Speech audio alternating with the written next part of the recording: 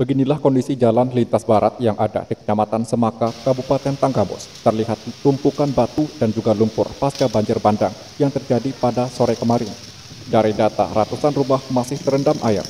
Banjir disertai tanah longsor ini terjadi terparah di Pekon Uwai Kerap, Kecamatan Semaka, Kabupaten setempat. Selain itu, pemerintah Kabupaten Tanggamus telah mendirikan dapur umum dan memberikan bantuan makanan siap saji kepada korban yang terdampak.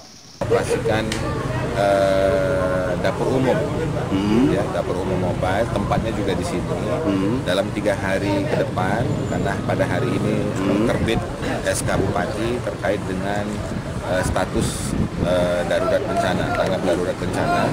Selama tiga hari ke depan, kita akan buka dapur umum dan ini juga kembali lagi akan tepat sasaran, khususnya bagi rumah-rumah atau masyarakat yang kondisi untuk memasaknya memang sudah eh, terkena banjir. Peninjauan langsung dilakukan untuk mengetahui secara langsung kondisi dapur umum dan juga posko yang didirikan oleh pemerintah Kabupaten Tanggamus.